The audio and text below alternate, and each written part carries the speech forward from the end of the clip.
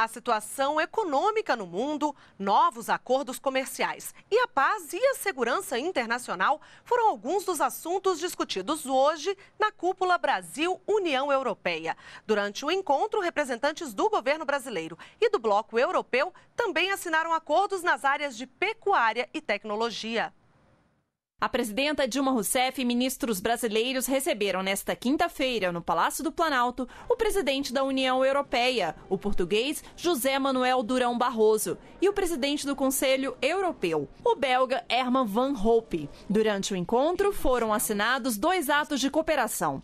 Um na área de pecuária, que visa o bem-estar de animais, e outro no setor de tecnologia. A presidenta Dilma Rousseff também anunciou a criação de uma comissão para avaliar os investimentos realizados nas duas regiões. Nós achamos que essa relação Brasil-União Europeia é uma relação estratégica para o Brasil.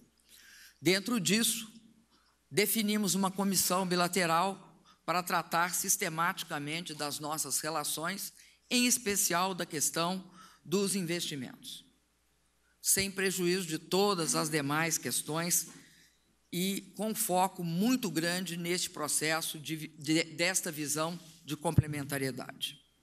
Além da situação econômica no mundo, a paz e a segurança internacional, um outro assunto debatido na sexta cúpula Brasil-União Europeia foi a proposta de acordo de livre comércio entre o Mercosul e o Bloco Europeu.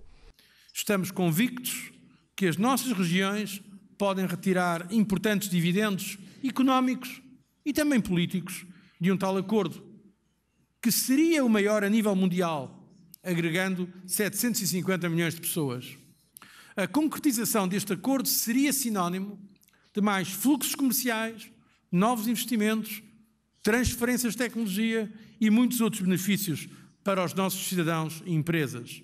Segundo dados do Ministério do Desenvolvimento, Indústria e Comércio Exterior, no ano passado, 21% das exportações brasileiras foram para a Europa, o que totalizou cerca de 48 bilhões de dólares. No caso das importações, 21% do que o Brasil comprou em 2012 veio da União Europeia, cerca de 47 bilhões de dólares. Durante o encontro, foi anunciado que o Brasil vai enviar 100 pesquisadores para centros de estudos da União Europeia Europeia pelo programa Brasil Sem Fronteiras.